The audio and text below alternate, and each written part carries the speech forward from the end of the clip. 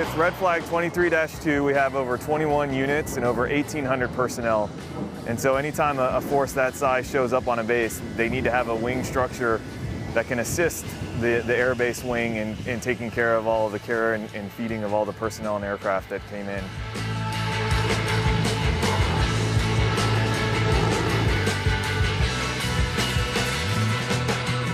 And so not only does the Nellis uh, ranges provide world-class training with air-to-ground threats and air-to-air threats with professional red air, but coming here gives us the ability to integrate with our allies, come together as a force, and not only for the aircrew, but for all of the personnel involved, whether it's intel, aircrew, flight equipment, the maintainers, everyone gets to come and learn how to operate in a new place with people they're not used to operating with.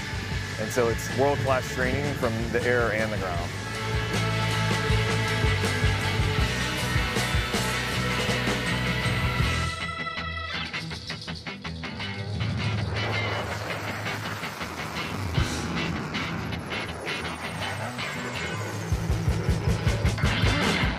Very important for our maintainers, especially the younger maintainers who maybe have never deployed before, to get that combat experience in a controlled environment such as Red Flag. Um, it allows us to see how uh, our aircrew members perform, how they join with everyone else, all the coalition forces, and just one big exercise to come together. So that training is very important.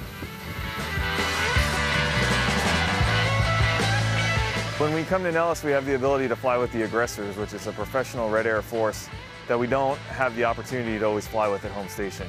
And they provide us with a level of realism that, you know, is some of the best training that we can get anywhere in the world.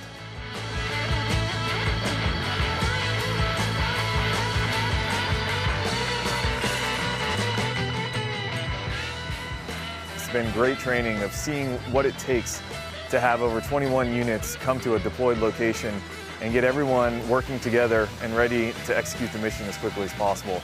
It's been invaluable training for myself and everyone else that's come out to be part of the Air Expeditionary Wing.